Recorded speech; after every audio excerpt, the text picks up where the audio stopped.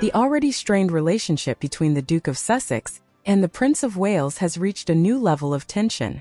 Recent reports have emerged that the future king, the Prince of Wales, has taken the controversial step of banning the Duchess of Sussex from wearing any of their late mother Princess Diana's jewelry.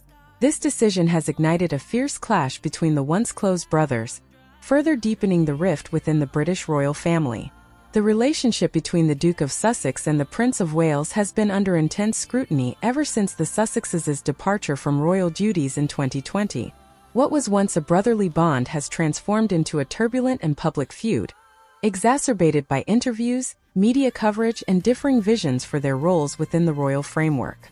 At the heart of the latest conflict is Princess Diana's iconic jewelry collection, a treasure trove of sentimental and historical significance.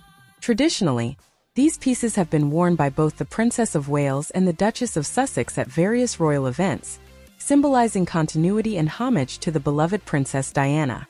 However, Prince of Wales's recent decision to prohibit the Duchess from accessing any of these pieces has sent shockwaves through the royal household. The Prince of Wales's stance is reportedly driven by a desire to protect his mother's legacy and ensure that her memory is honored in a manner he deems appropriate. Sources close to the future king suggest that he feels the Duchess's departure from royal duties and subsequent media engagements have not aligned with the values and responsibilities that come with being a member of the royal family. By restricting the Duchess's access to Diana's jewelry, the Princess Catherine aims to preserve the sanctity and meaning behind these cherished items. Unsurprisingly, the Duke is said to be livid over his brother's unilateral decision. For the Duke, who has often spoken about his deep connection to their mother's memory, this move is seen as a personal affront. The Duke of Sussex reportedly views it as yet another attempt to marginalize the Duchess and undermine their efforts to carve out an independent path. The emotional fallout from this jewelry ban extends beyond the brothers themselves.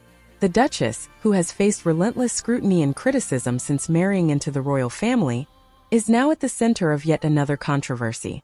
The ban not only affects her personally, but also symbolizes the wider tensions and divisions within the royal family. And that's it for our video. I will like to see what you think in the comments. Thanks and see you in the next video.